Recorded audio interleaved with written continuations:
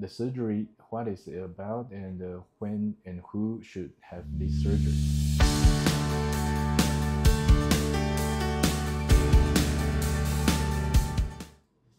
Hello everyone, it's Dr. Huang's clinic.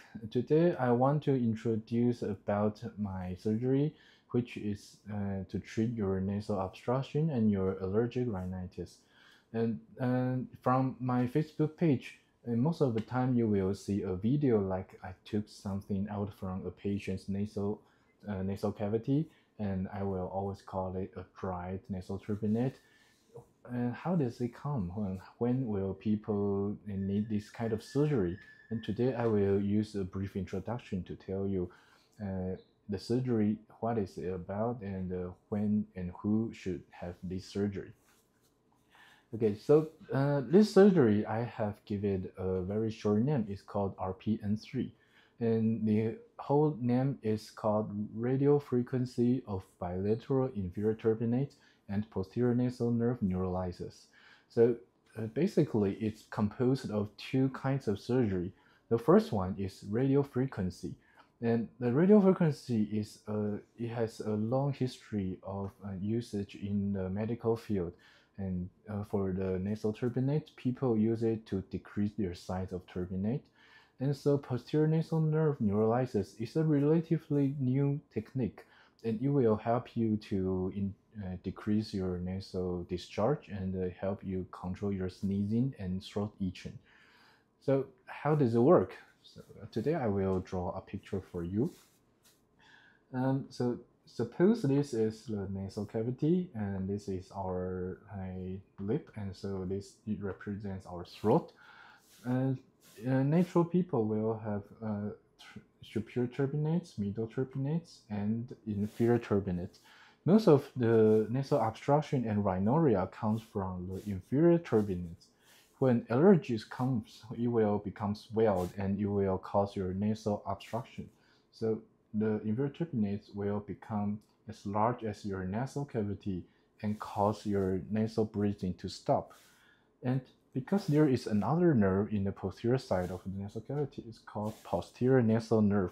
It will innervate your middle turbinate, your inferior turbinate, and also your throat, and your it will cause you from nasal rhinorrhea, and it will cause you feel like postnasal drip, people may feel some kind of cough or throat irritation due to this nerve. So our solution is composed of two parts. First, we will use a radio frequency to decrease the turbinate size.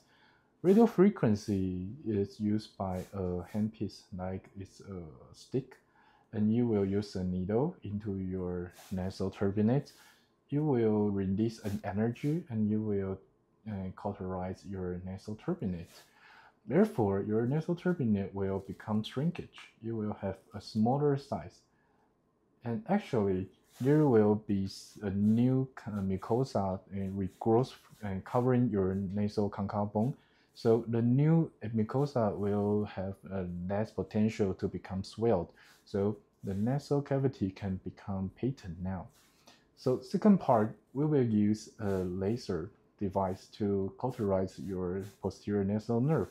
So when we cauterize the nasal nerve, you will decrease the uh, nerve innervation to your middle turbinate, your inferior turbinate, and your throat.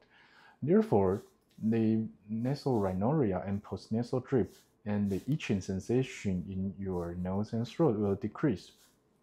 And furthermore, after the procedure has completed, the uh, other nasal tissue left in the nasal cavity will no longer receive as much as nasal stimulation uh, than before surgery so the potential for recurrence of the nasal allergy symptom will also decrease.